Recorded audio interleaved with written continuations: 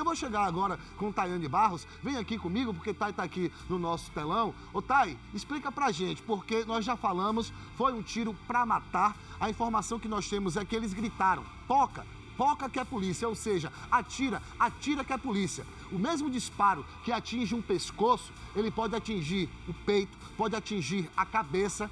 Foi sim uma tentativa de homicídio. A gente espera que o policial ele sobreviva a esta ação, não é? Ele está estável. Esta é a informação. Seja bem-vinda. Boa noite.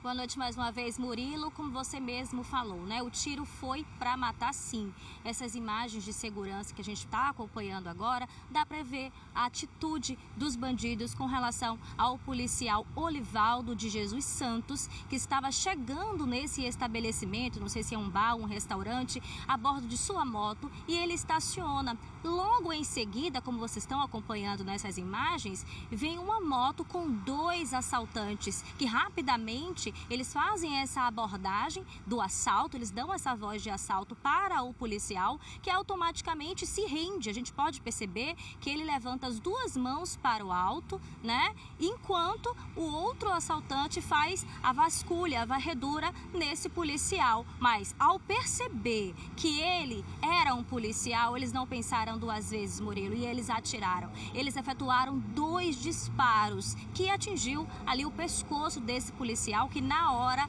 cai no chão desacordado. Nessas imagens não é possível ver, mas o policial foi socorrido pelos moradores, aqueles populares que estavam observando e foi levado para o Hospital São Rafael. Ele está internado ainda, mas segundo informações, o estado de saúde dele é estável, mas está fora de perigo. O tiro foi sim para matar, como a gente pode ver nessas imagens. É, quando se trata da violência, a gente vê que os criminosos eles não hesitam, eles não pensam duas vezes se se trata de um pai de família, de um trabalhador. Ele não estava fardado. O policial é um policial aposentado da reserva mas mesmo assim, isso não inibiu a ação desses criminosos, que graças a Deus o tiro pegou de raspão no pescoço e ele está vivo. Se não, Murilo, essa história, o desfecho poderia ter sido bem diferente e a gente poderia estar hoje noticiando a quarta morte de um policial em oito dias. Eu volto com você.